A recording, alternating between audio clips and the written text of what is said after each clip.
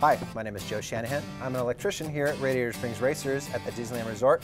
Welcome to Every Role, a Starring Role.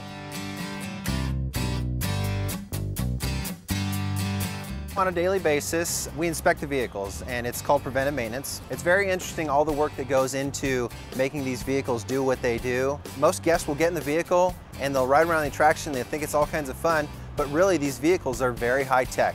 And so there's a couple different things that we look at. In the front of the vehicle, we've got the control system and we really have to pay attention because it's one thing for the vehicle to operate, but it's something different if we don't have audio. The audio really interacts with the guest. So the audio gives us safety spiels to say, make sure your seatbelts are fastened, make sure you're sitting down.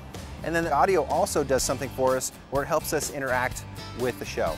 So when I do my daily inspection, I have to look at electrical contactors and, and, switches and buttons and make sure that everything's operating like it should. And then something that the guest may not see is in the back of the vehicle is the motor, and it's not typical. These are big electric motors that have a lot of energy and a lot of force, it helps the vehicle go really fast during the attraction. So something that the guest might not think about is how do we get electricity to the vehicle? Because it's not like we plug in an extension cord and it's going to run around the track that way.